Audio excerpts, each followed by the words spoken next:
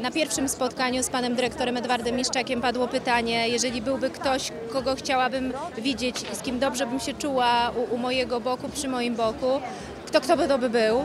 No to moja pierwsza myśl i odpowiedź to był Maciek Rok i pan dyrektor powiedział, ale się cieszę, bo jego odpowiedź brzmiała dokładnie tak samo, bo spotykaliśmy się w niedługim okresie czasu.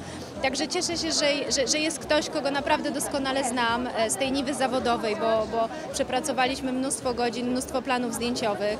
Wiem, że jest e, no, fantastyczna redakcja, super producentka, e, wydawcy, z którymi też gdzieś na mojej tam drodze zawodowej się spotykałam.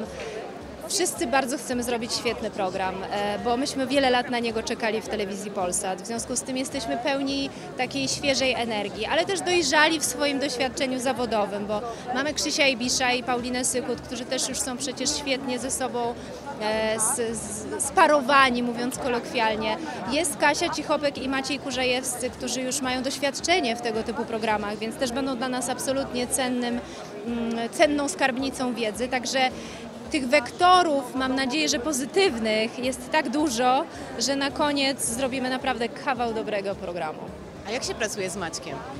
Świetnie. E, Myśmy zawsze, myśmy nigdy nie przestali ze sobą pracować, może to było z mniejszą lub większą intensywnością. Rzeczywiście Maciek przez ostatnie lata był bardziej obecny na antenie radiowej. Czasami sobie dzwoniliśmy do siebie, on do mnie będąc na antenie, a ja odwożąc rano dzieci, sobie troszkę po- żartując e, o poranku.